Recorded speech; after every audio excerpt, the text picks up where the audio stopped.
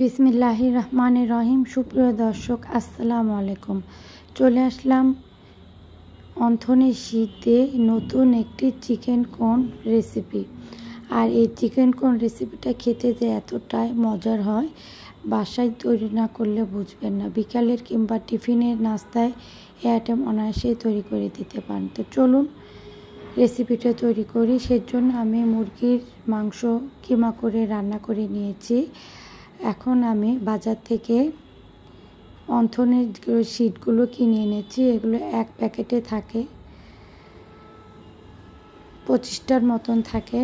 আর পঁয়তাল্লিশ টাকা packet total প্যাকেটে পঁচিশটার মতন থাকে। আমি এটা শীত দিয়ে বানাচ্ছি। আর এটা কিন্তু রুটি দিয়েও বানানো যায়। তো মাথায় আইডিয়া আসলো এটা আমি যেহেতু বাসায় আসি দেখি এটা একটু তৈরি করি, দেখি কেমন হয়।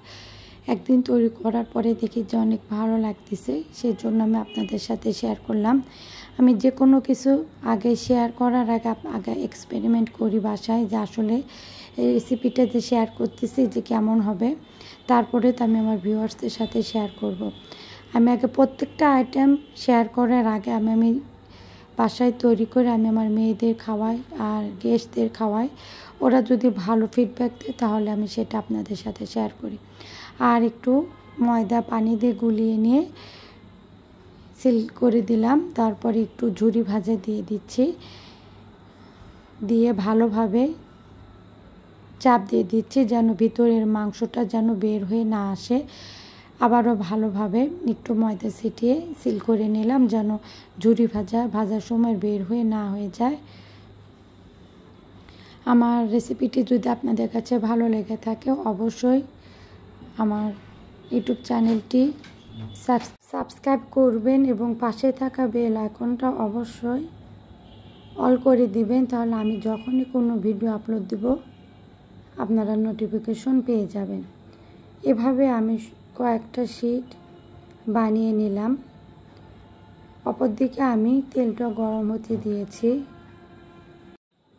আর ফেসবুক থেকে আমার ভিডিওগুলো দেখলে অবশ্যই Facebook page cooking studio by শুরু অবশ্যই ফলো করে রাখবেন। আর আমার চ্যানেলটি যারা সাবস্ক্রাইব করেছেন, তাদেরকে অসংখ্য ধন্যবাদ জানাচ্ছি। আর যারা এখনও আমার চ্যানেলটি সাবস্ক্রাইব করেনি তারা প্লিজ আমার চ্যানেলটি সাবস্ক্রাইব করবেন। এভাবে সবগুলো ক্রিস্পি কোন আমি রেডি করে নিলাম। এখন আমি ভাজার জন্য চলে যাচ্ছি।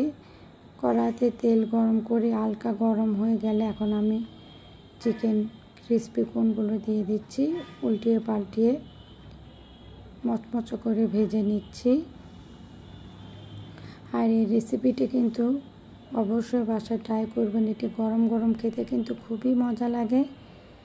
আশা করি আজকের এই রেসিপি আপনাদের কাছে অনেক ভালো লেগেছে। আর ভালো লেগে থেকে অবশ্যই আমার ভিডিওতে একটি গঠনমূলক কমেন্ট করবেন। তৈরি হয়ে গেল মজাদার ক্রিসপি কোন দেখতে যেরকম সুন্দর, খেতেও কিন্তু অনেক মজাদার।